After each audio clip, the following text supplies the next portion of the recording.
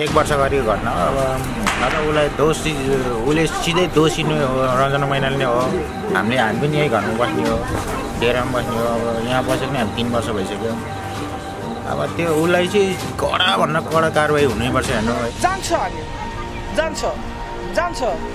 हामी सर्वोच्चसम्म पुग्छ हाइकोर्टसम्म पुग्छौँ हामी। हामीलाई केही त्यसको प्रब्लम छैन। त्यसै रञ्जना मैनालीले त्यसै विजय जहिले पनि प्राप्त हुन्छ। भनेपछि तपाईँहरूको अब मान्यता चाहिँ सर्वोच्च अदालतमा गएर पनि रञ्जना मैनालीले जेल हालेपछि जहाँ पनि पुग्छ। जहाँ पनि हाल्छ हाल्छ हामी। जसरी पनि हाल्छ सानो सानो बच्चाहरू हेर्नु त। यस्ता बच्चा हेर्नु रोटी खाइरह्यो भने त। अर्काको घरबाट चाहिँ मागेर ल्याएको रोटी खानु परेछ घरमा रोटी पकाउने कुरै छैन। भाइ बितेछ बत्ती छैन। केही छैन। रमाइलै छैन। बच्चाले त तिहारमा त खुसियाली मनाउन खोज्दैन। पड्का पड्काको दुनियाँको घरमा ल सुन्नुभयो हँ? सात सिमाना घरमा पड्का पड्का छ। मेरो घर चाहिँ अँध्यारो छ। बच्चाहरूले सोध्छ। बच्चाहरू यही हो त। यो के हो? के भनेछ? यिनीहरूले के प्रश्न गर्छ? यिनीहरूले के यिनीहरूको उत्तर के दिने? जीवनभरि जस्तो मेरो घर अँध्यारो भएको छ त्यस्तै अँध्यारो चाहिँ त्यसको घर पनि होस्। हामीसँग त्यस्ता पैसाको कुरा छैन। कसैले बिस लाख रुपियाँमा मेरो भाइ ल्याउन सक्छ अदालतले? त्यो रञ्जना मैनालले मेरो भाइ बिस लाखमा किन्ने? म एक अरब दिन्छु मेरो भाइ जीवित बनाएर ल्याउँछ। दर्शक नमस्कार अनि हार्दिक स्वागत छ तपाईँहरूमा आज एउटा एक्सक्लुसिभ फलोअप रिपोर्ट लिएर उपस्थित भएका छौँ र यति बेला हामी चितवनको भण्डारामा छौँ र यहाँ चाहिँ नि गएको मङ्सिर दस गते रवि रुवालीको दुःखद निधन भएको थियो र उनको घर परिवारमा आइपुगेका छौँ हामीले र भर्खरै मात्र अदालतबाट फैसला भएको छ र चाहिँ नि रञ्जना मैनालीलाई दोषी ठहर गर्दै करिब एक्काइस लाख रुपियाँ क्षतिपूर्ति सहित अदालतले चाहिँ उनलाई दोषी ठहर गरेको छ र उनको घर परिवारसँग पछिल्लो अपडेट लिनको लागि उपस्थित भएको छु र म रवि रुवाली दाई हुनुहुन्छ लोकराज रुवालीजी। उहाँसँग विशेष कुराकानी गर्दैछु। सबैतिर यति बेला महान चाड चाहिँ तिहारको एउटा रौनक छ सबैतिर झिलिमिली बत्ती छ पटेका पड्किरहेको छ सेलरोटी पाकिरहेको छ तर यो घरमा आज पनि त्यही पीडा त्यही आँसु बाहेक केही नै देखेका छैनौँ हामीले। यी बिचरा नानीहरूलाई हेर्नुहोस्। नानीहरूलाई तिहार मनाउने किन रहर थिएन होला र तर समय परिस्थिति र भाग्यले एउटा संजोग भनौँ या के भनौँ यस्तै बनाइदिएको छ। हामी माझ रवि रुवाली हुनुहुन्न र उहाँको दाईसँग विशेष कुराकानी गर्दैछु। रोकराज रुवाली हुनुहुन्छ। यहाँलाई स्वागत हस् धन्यवाद हजुर। जस्तो यो तिहारको रौनक छ। घरमा एकदमै अझै पनि सन्नाटा छाएको छ। बत्ती छैन सेलरोटी छैन। कसरी लिनु? तपाईँले आफैले एउटा चिज विश्लेषण गर्नुहोस्। यो संसारमा यो धरतीमा हरेक चिजहरूले चाहिँ आफआफ्नो तरिकाले चाहिँ आफआफ्नो तरिकाले मनाउने क्रियाकलापहरू चाहिँ जुनसुकै ठाउँमा पनि रहिरहन्छ। हेर्नुहोस् त तपाईँ यहाँ के के चिज भइरहेछ? अर्काको घर अरूको घरमा मेरो साना साना बालबच्चाहरू एकदम सानो सानो नानी छोरी लक्ष्मीको रूपमा भएको मा देवी जस्तो स्वरूपका चाहिँ बच्चाहरूले पनि मलाई प्रश्न सोधिरहन्छ। के प्रश्न सोध्छ? बाबा दुनियाँको घरमा बत्ती बलेको छ। हाम्रो घरमा किन बत्ती बलेको छैन? मैले कस्तो किसिमको जवाब दिने? म आफैलाई त्यसको एन्सरै प्राप्त नभएको कारणले गर्दा बच्चाहरूलाई भने यसको जवाब मसँग छैन। यसको जवाब चाहिँ भगवान्सँग सोध न भगवान्ले मात्रै दिन सक्नुहुन्छ यो जवाब। यो भगवान्सँग मात्रै यसको उत्तर छ। मसँग यसको उत्तर छैन मायाहरू देवीहरू। मैले भनेर चाहिँ बच्चाहरूलाई सम्झाउने कुराहरू चाहिँ राखेको छु। पछिल्लो समय अदालतले रञ्जना मैनालीलाई चाहिँ नि दोषी पनि ठहर गरेको छ। के के भनेको छ पैसा? दोषी दोषीको अर्थ के हो? दोषीलाई दिनुपर्ने पनिसमेन्ट के हो? पनिसमेन्ट भनेको के हो? दोषी त ठहर भयो। सम्माननीय अदालतलाई हामी एकदम रेस्पेक्ट सल्युट हान्छु मैले होइन? तर त्यो किसिमको फैसला भएन। जुन किसिमले हामीले हामी जति पीडामा छौँ त्यो किसिमको पीडाको अनुसार मलमपट्टि भएन। मलमपट्टि चाहिँ के हिसाबमा भयो? यहाँ काट्यो। काटेर बेटाडिन मात्रै लाएर भएन क्या एन्टिबायोटिक पनि चाहिन्छ जुन चाहिँ काटेको ठाउँमा टाल्नको लागि क्या बेटाडिनको अर्थ के भन्दा त्यहाँ चाहिँ हुने फङ्गल भाइरसहरूलाई मात्रै मार्ने काम भयो जुन चाहिँ त्यसलाई सुकाउने घाउ सुकाउने काम भएन। हामीले ज जस्तो सुकै फैसला गरे पनि जेसुकै गरे पनि हामीले हाम्रो चाहिँ जतिसुकै जितै भए पनि हाम्रो संसारमा सबभन्दा ठुलो हार हाम्रो हो।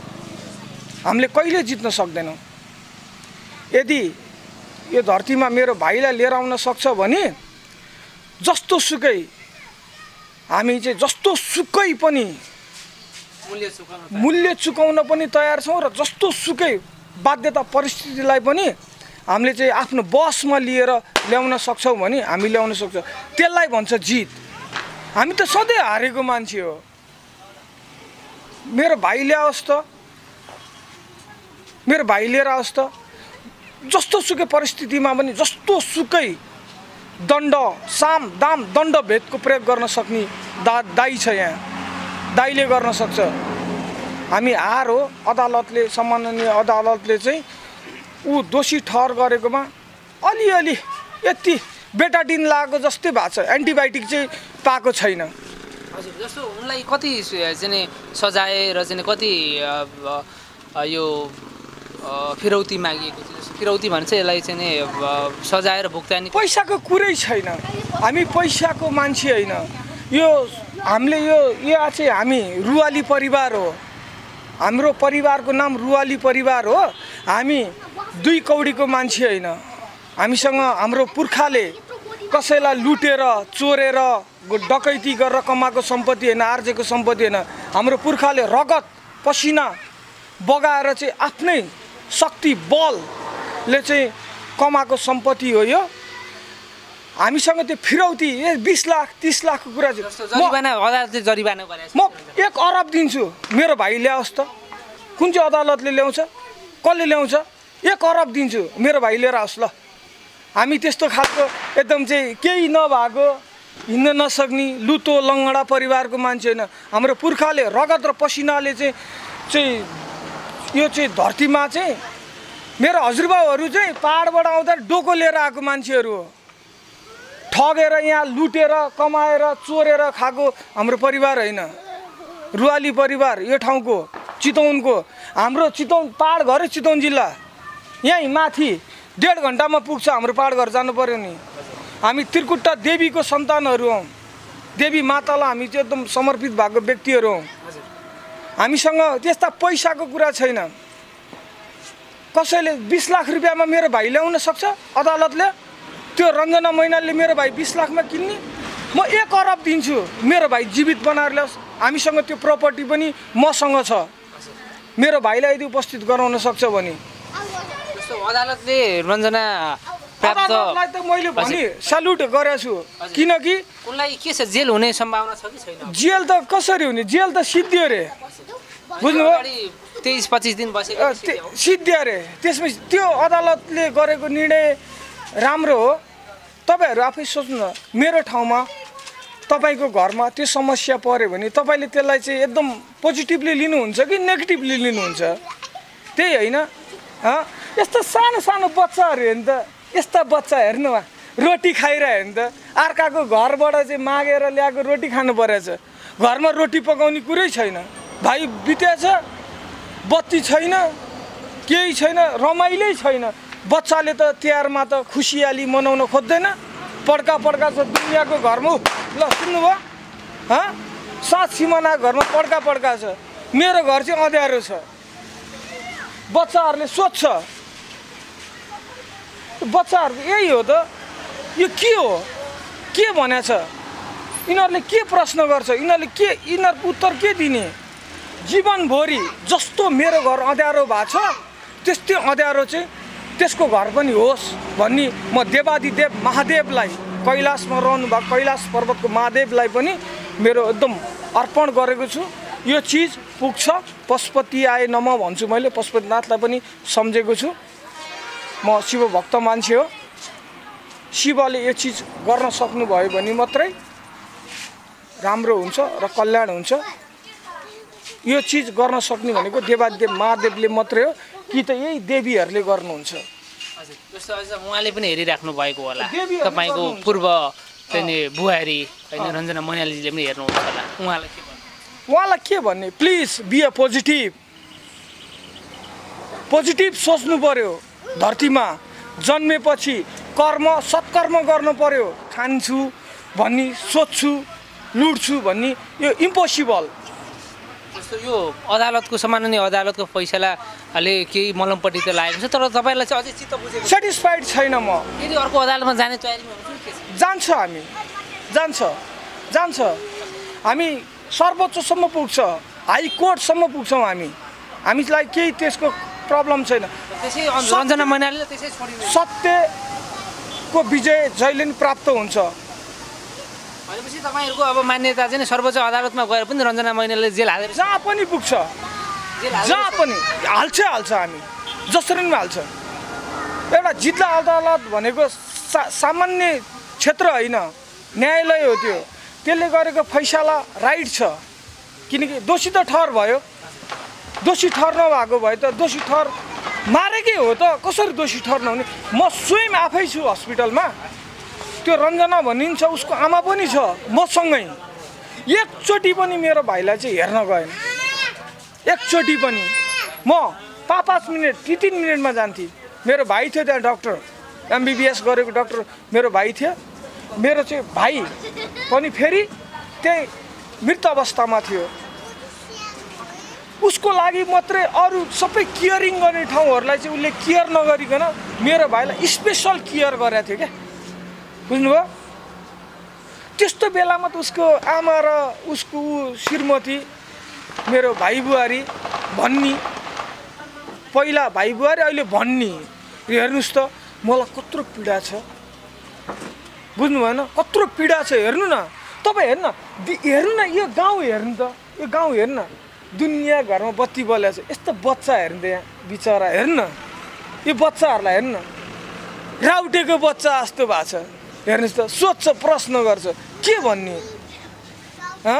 के भन्ने मैले भन्नु? न जस्तो रञ्जना मैनालीले पछिल्लो अन्तर्वार्तामा भन्नुभएको छ कि म तपाईँहरूकै बुहारी हुँ तपाईँहरूकै चाहिँ नि चेली हो। जब म दोषी भए पनि मलाई चाहिँ जरिवाना तिराए पनि तपाईँहरूको बुहारीलाई कसरी गर्नुहुन्छ भनेर भन्नुभएको छ। ए सुन्न बुहारी भने के हो? तपाईँलाई म भनिदियो?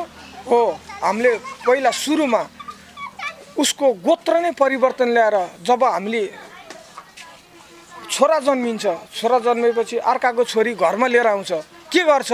अग्नि देवतालाई साँची राखेर गोत्र परिवर्तन गरेर हाम्रो घरमा ल्याएर चाहिँ हाम्रो घरमा चाहिँ गृहस्थी प्रवेश गराउँछ।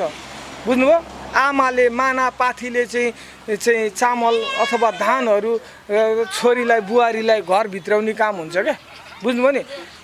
तर जस्तो भित्र लक्ष्मी माताको स्वरूपमा हुन्छ महिला यदि महिला राक्षसको रूपमा नै हुनसक्छ लक्ष्मीको रूपमा भयो भने महिलाले घर गरेर खान्छ राक्षसको रूपमा भयो भने हेर्नुहोस् त तपाईँहरू रावण शिवको सबैभन्दा ठुलो शक्तिशाली शिवको भक्ति मान्छे। रावणको मृत्यु भएन भएन। रावणलाई रामले मारेन। किन? घमण्डको कारणले गर्दा रावणको मृत्यु भयो। घमण्ड कसैले पनि गर्नु हुँदैन। It's not for only Ranjana Mainali it's for all the women यो रञ्जना मैनालीलाई मात्रै होइन। हरेक महिलालाई भने कुरा घमण्डले मृत्यु मात्रै प्राप्त हुन्छ र चाहिँ मृत्यु र पीडा मात्रै प्राप्त हुन्छ। त्यही भएर सबै महिलाहरू भगवान्प्रति समर्पित र श्रीमानप्रति प्रति समर्पित हुनुपर्छ।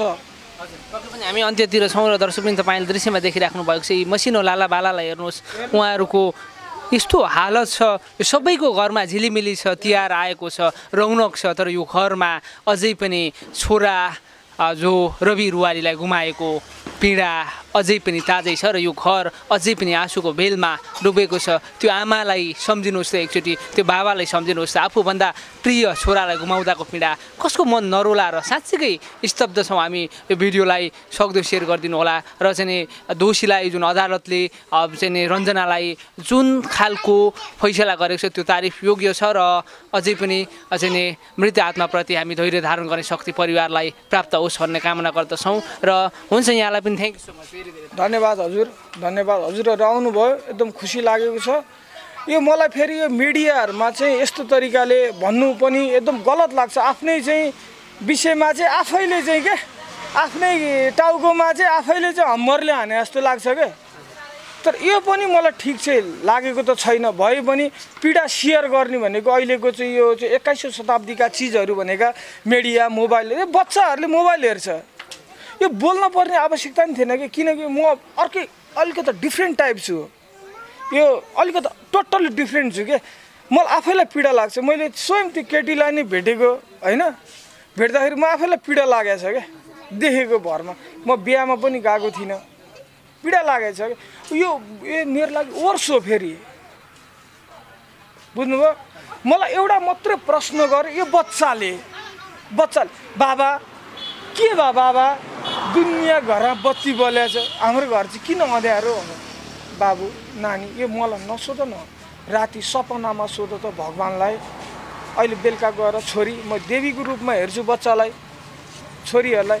सोध न माया भगवान्लाई सोध। राति के भन्नुहुन्छ? त्यो भोलि बिहान मलाई जवाफ दियो यिनीहरूलाई भन्न नि गाह्रो छ कि अङ्कल बित्या भनेर भन्दाखेरि पनि गा गाह्रो छ कि मलाई।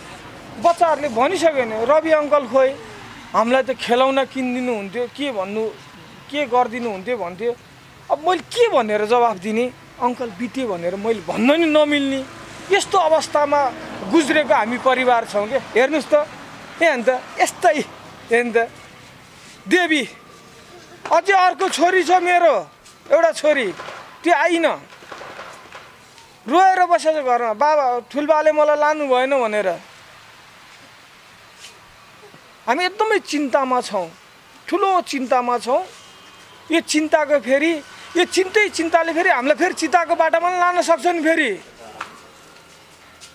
चिन्तै चिन्ताले मानवलाई लाने बाटो भनेको चितामा मात्रै हो। अनि मलमपट्टि यस्ता ए के गर्ने के गर्ने त्यो केही चिज छैन। त्यही भएर मैले एउटा भन्छु सबैले पोजिटिभ थिङ्किङ राख्नु सकारात्मक सोच। जसले सकारात्मक सोच राख्न सक्छ त्यो मात्रै धरतीमा अगाडि बढ्छ। कलियुग हो। सत्ययुग द्वापर युग तृतीय युग होइन यो। कलियुग। कलियुग हो यो। कलियुगमा अब बिस्तारै तेह्र वर्षमा बच्चा पाउँछ। नाति नातिना देख्छ यो युगमा। त्यही भएर अहिले सबै चिज नष्ट हुँदै गइरहेछ। यसलाई रोक्नुपर्छ है सबैजनाले। आफूभन्दा ठुलोलाई ठुलोलाई सत्कार र आफूभन्दा सानोलाई प्रेम गर्नुपर्छ भन्ने ज्ञान सबै मानवतामा हुनु पर्यो।